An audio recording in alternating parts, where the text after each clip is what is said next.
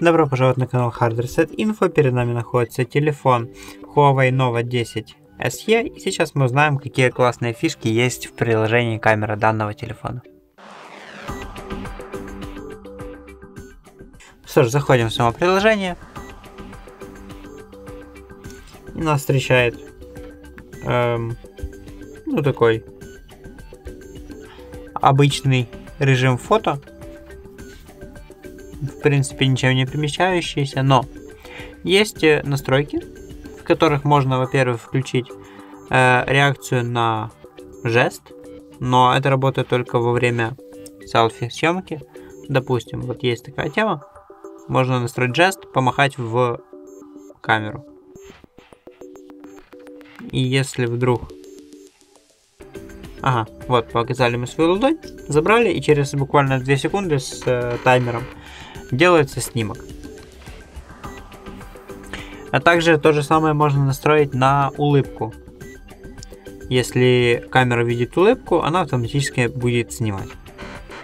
Классная штука, чтобы словить эмоции. Реально. Разрешение видео ничем нас особо здесь порадовать не может. Как и частота кадров на самом деле. Эм... Но есть классная штука, это еще High Resolution. То есть э, весьма а, высокое разрешение, которое поможет нам сделать крутые и качественные фотки. Также можно э, в еще сделать двойной вид. Э, который, ой, который поможет нам вот двойной вид, который поможет нам снять и зад, и вперед. Можно также сделать такое маленькое окошко, которое будет плавать по основному окну.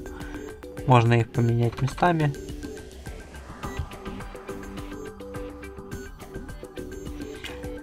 Э, вот. Ну и если мы перейдем в фото, есть еще одна классная фишка и еще одна. Если мы нажмем на эту кнопку, то искусственный, искусственный интеллект будет помогать нам делать фото, что весьма, если честно, интригующе для меня. И есть также классная фишка, функция A-Lens, то есть э, иск... объектив искусственного интеллекта, где можно воспользоваться сканером QR-кодов Допустим, есть QR-код. Давайте попытаемся его просканировать. Весьма быстро сканирует он. Ничего не надо нажимать, просто берет и переходит по сайту, который был зашифрован в QR-код. Вернемся обратно. Есть возможность э, шопинга, то есть э, если вам понравилось что-то, просто найдите точно такое же и купите его. Благодаря этой функции это весьма несложно. Есть возможность перевода фотографии. Например, есть статья, большая статья на английском, на английском мы читать не умеем. Наводим это все дело на текст, фоткаем Надо, чтобы вам тоже было видно. В общем, есть вариант перевод фотографии, где мы сначала сделаем фотку, а потом уже будем почему-то размыто. Угу.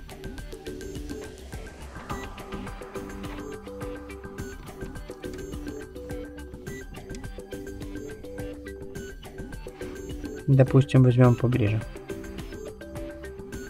Кстати, не хочет делать фотографию, но мы можем воспользоваться переводом с дополненной реальностью. В общем, перевод фотографии. Это если мы сфотографировали что-то. Простите, сейчас из-за света я не могу сфотографировать, но перевод фотографии это если мы что-то сфоткали и потом уже выделяем текст, тоже можно его скопировать, перевести. Либо перевод с дополненной реальностью, это когда мы держим просто текст, ничего не фотографируя, но благодаря интернету все это дело переводится и мы уже видим, типа, поверх нашего английского текста русский текст. И идентификация просто. Допустим, мы что-то опять-таки сфотографировали. Идентификация покажет нам, что это. Все вот эти результаты поисков с интернета и тому подобное. И можно также воспользоваться сканером калорий для спортсменов, для людей, которые следят за тем, как они питаются. Это реально полезная штука. Просто наводите на свою еду этот сканер, и он вам будет показывать, сколько калорий в нем. Э, на этом все. Спасибо за просмотр. Подписывайтесь на наш канал и ставьте лайки. До скорых встреч.